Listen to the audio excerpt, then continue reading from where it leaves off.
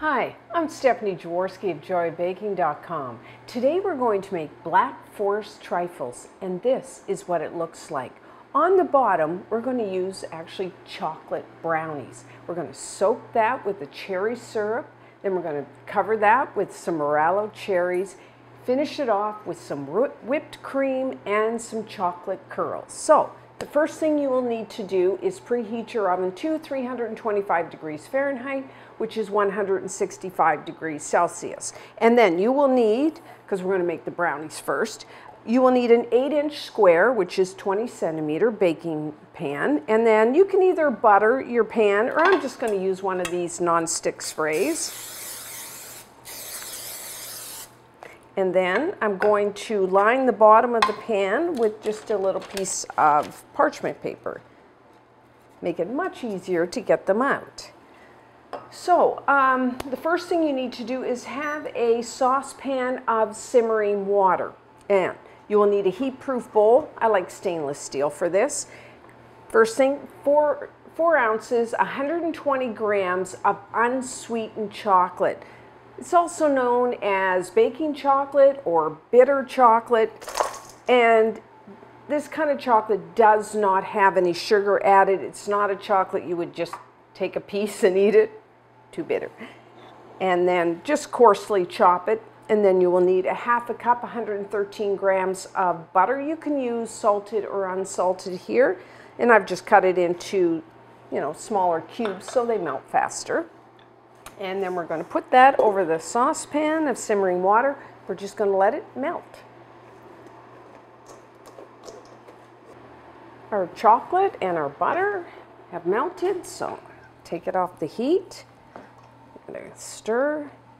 Now at this point, their chocolate is going to be quite warm. If it's like hot, hot, then let it sit for a few minutes. But mine's just kind of warm because I took it off the heat as soon as everything was melted. So I'm going to add right away one cup, which is 200 grams of granulated white sugar. Now, while that might, might sound like a lot of sugar, because we're using an unsweetened chocolate, we do need that amount of sugar.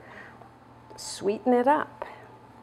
And I'm just going to use a wire whisk and whisk that in along with one teaspoon, four grams of pure vanilla extract. Now that it's just for flavoring, so you could leave the vanilla extract out. Let's give that a really, so it starts to melt into that warm chocolate. So now what we're going to do is add two large eggs. Have your eggs at room temperature. And you want to whisk. I'm going to add one at a time. You want to keep whisking. We don't want our eggs to cook. so And as you can see, it's quite grainy at this point. Don't worry, just keep whisking and you will see what happens here.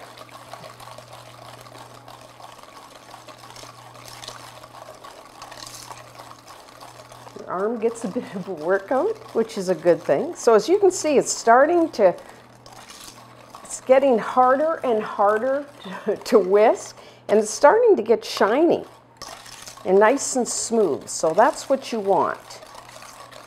So at about the point where it's really hard to whisk in your arm as it feels like it's going to break off, that's probably about it. So now what we're going to do is add three quarters of a cup, which is 95 grams of all-purpose flour. You may know that as plain flour. And I'm going to add just a quarter of a teaspoon, one gram of, I'm using kosher salt. Now, if you use salted butter, I, I would just not use the salt. And I'm just going to use a spatula and stir it all in. Brownies are so easy to make and they're so good. Now, you don't have to use this particular brownie recipe for your Black Forest trifles. If you have a favorite, uh, brownie recipe, then just use that. This happens to be my favorite one. Okay, we'll make sure all that flour is mixed in. Okay, looks good, and we're done. Just pour it into our pan.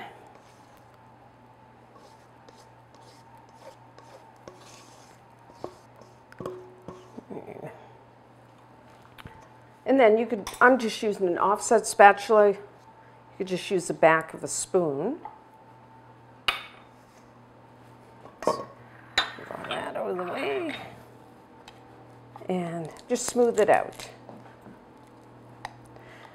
So for these, I find uh, bake them, everyone's oven is a little different, but around 25 minutes. So you might want to check them. I usually check them at a, maybe the 22 mark just to make sure. You don't want to overbake brownies they because they tend to be a little dry. So what you want is it, they will be set and a toothpick inserted into the center. You will have some crumbs, some moist crumbs clinging to the toothpick. You don't want it to come out clean. Okay, looks good. Usually just give it a shake to even it out. So about 25 minutes.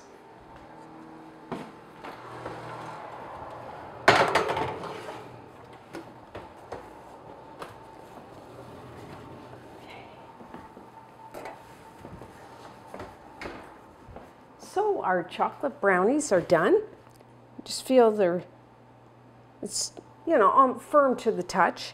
And I put my toothpick in the center. There is some moist crumbs, and you will see that they're just starting to pull away from the sides of the pan. So I'm going to put them on a wire rack, let them cool completely before we make our trifles. Now, if you wanted to, you could make your chocolate brownies a day or two before you want to make your trifles. You don't have to do it all in the same day.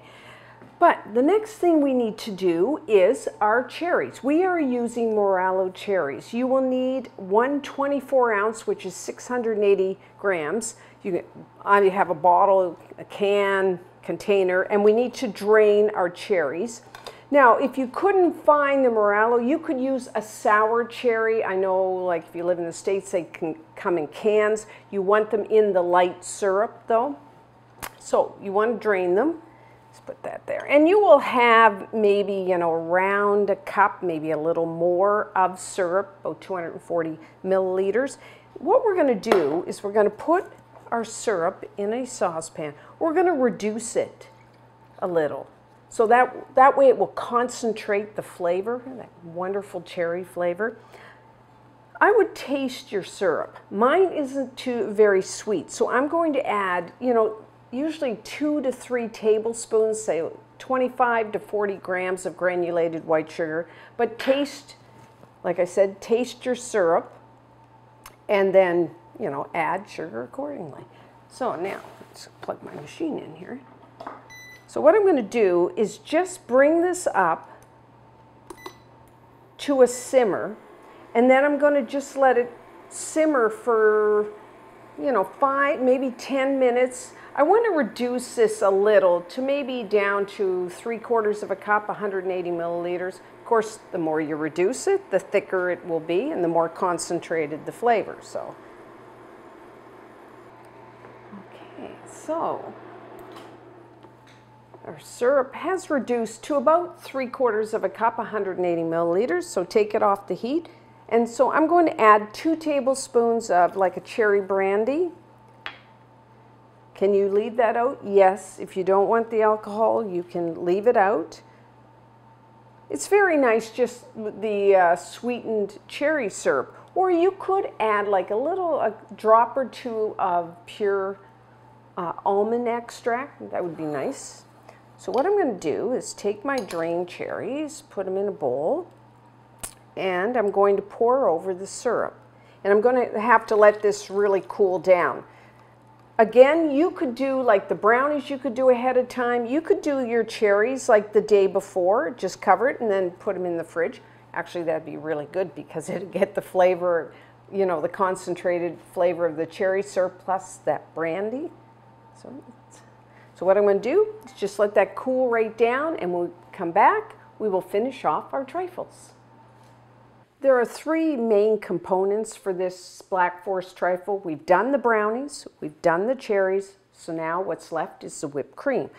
You can whip your cream in an electric stand mixer with the whisk attachment. You could use a hand mixer, but I'm going to do it. I'm going to do it by hand today. So this recipe makes about eight trifles. So if there's only one of you, two of you, you don't have to make the whole batch. You can adjust the recipe down or up, whichever way you want. So one and a half cups of heavy whipping cream, that's 360 milliliters. Heavy cream means about a 35 to 40% butterfat content, which means when I beat it, it will hold like stiff peaks. You want your cream to be cold.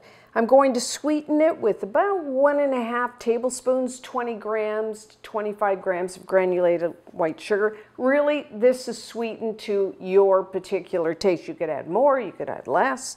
And then I like to add just a little, like maybe a quarter of a teaspoon, one gram of pure vanilla extract, which means really we are making chantilly cream. Again, you could leave out the vanilla if you don't want that flavor. So now I'm just going to whip it to not quite stiff peaks.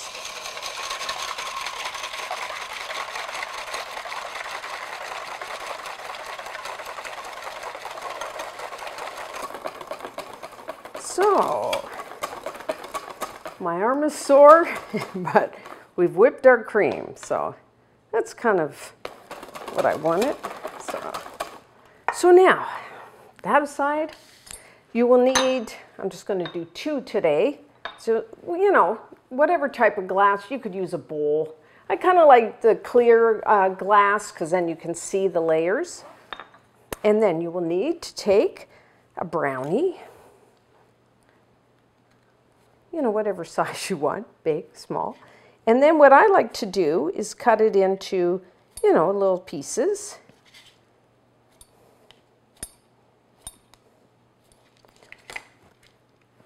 And I think one brownie per person.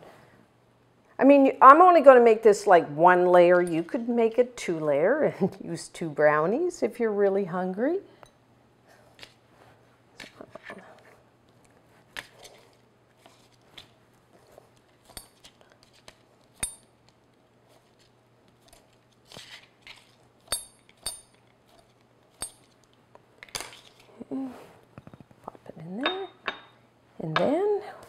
So then we have our cherries in their juice. So what I like to do is just take a little of that juice, pour it over top, maybe a tablespoon or so. Again, it depends how much, how big your brownie is. So, and I like the how the syrup like soaks into the brownie. And then just take some cherries over top. Again, you can decide. What I like is there's not really a set recipe for this. You know, you only want a few cherries, you want lots of cherries, that's up to you. So there we have that. Clean that up a little. And then we have our cream. Now I'm just going to spoon it in. You could uh, put it in a piping bag if you want to be really neat. And